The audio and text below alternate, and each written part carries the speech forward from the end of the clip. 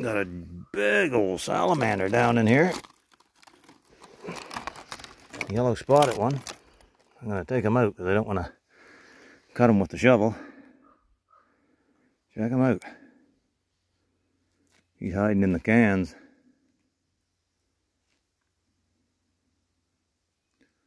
Yeah.